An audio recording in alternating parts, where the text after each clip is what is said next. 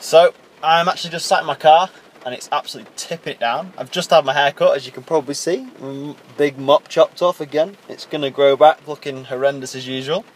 But anyway, uh, yesterday I was in the gym and I was running a little competition.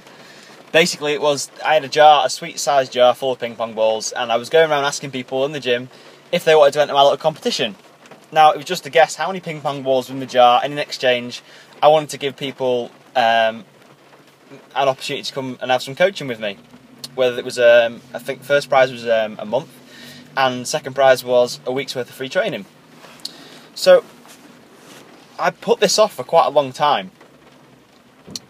Uh, not because I couldn't find the jar to put the ping pong balls in or buy the ping pong balls, but uh, it was because I was almost scared of what people would think of me. And to be fair, when I was in the gym, it did turn a lot of eyeballs, and people were saying, you, you know, you, you can't do this, you can't do that. Why are you doing this? Why are you doing that? And I think someone even said to me, you know, you're, you're doing something weird. You're carrying a bag full of ping pong balls around. You know, you've got a bag with a jar of ping pong balls in it. Okay, fair enough. Whatever. I'm weird. Um, and I was I was quite scared for what people would think. But in hindsight, now I'm sat there thinking, all I was trying to do was have fun with people and step out of this idea that a personal trainer is professional and they have to, you know, do this by the rules and blah blah blah. But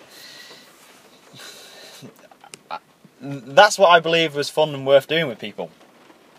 And I think I'd already sat, I, I was sat around for like a week and a half, almost waiting for inspiration, waiting for motivation to, to do this. And now I'm thinking about it, it if I wouldn't have done it yesterday or at all, waiting around for motivation inspiration never works. And if you're doing the same thing, it, I can guarantee you it will never turn up. Uh, maybe you're waiting to start a fitness program, maybe you want to improve your diet or whatever you want to do. Don't sit around and wait for inspiration because I tell you now, from my experience, it will never turn up. If you want to do something, just start. Whatever it is, if you want to start fit on you know on a fitness journey, a fitness plan, diet, nutrition, whatever whatever your goal is, anything, just start, do something, anything, and you'll find that once that habit grows, you'll just it'll you'll be subconscious. You'll carry on doing it, and you won't even realise you're doing it. Um, and then you can look back and where you know where you've come from and where you are now, and you will probably be rather amazed. And that is all I'm going to waffle on about because I need to go and just go.